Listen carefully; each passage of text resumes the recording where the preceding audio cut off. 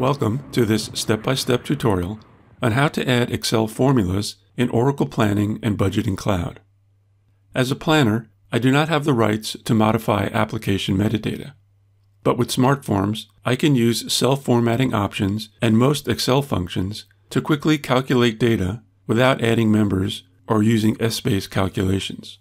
For example, I can calculate variances and compute for commissions within a form using Excel functions or formulas. You can find the list of supported simple and complex Excel functions on the Oracle Cloud documentation website. You manage SmartForms in SmartView, but you can also view SmartForms in the web interface. You can save a copy of an existing form or ad hoc grid as a SmartForm. You can identify the type of form by the icon displayed next to its name. To add Excel formulas, you must be in ad hoc mode.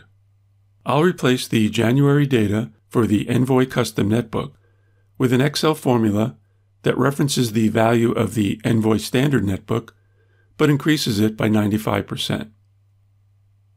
I'll submit data. The calculated data is displayed. Next, I'll add columns and enter cell formulas to determine the variance and variance percent for FY14 and FY15 year totals. I'll format the cells.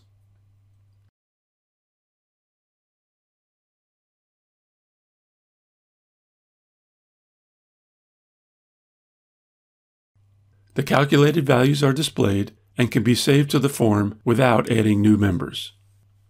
You can copy and paste formulas. The currency and percent formats are also copied to the new cells. Notice that the columns include empty cells.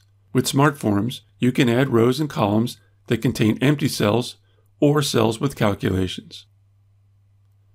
Now I'll add a row that calculates commission percentage based on revenue. I'll use the if function to create the calculation. If product revenue is less than 200,000, the commission percent is 5%. If product revenue is less than 400,000, the commission percent is 6%. If product revenue is more than 400,000, the commission percent is 7%. I format the cell and copy the formula to adjacent cells. I'll add another row that calculates the commission value based on the commission percent.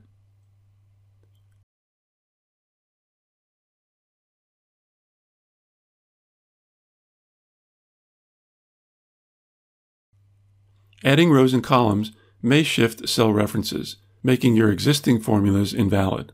Always verify the references in your formulas to ensure you get the correct calculation results. After adding or modifying Excel formulas, refresh and submit your data. You can change how data is displayed by setting formatting options.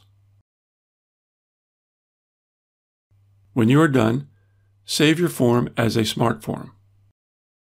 Enter the form name and path. You can preserve formatting options by selecting the Submit Formatting checkbox. Now, let's take a look at my SmartForm in the web interface. Cells containing labels and Excel formulas are displayed and formatting is preserved.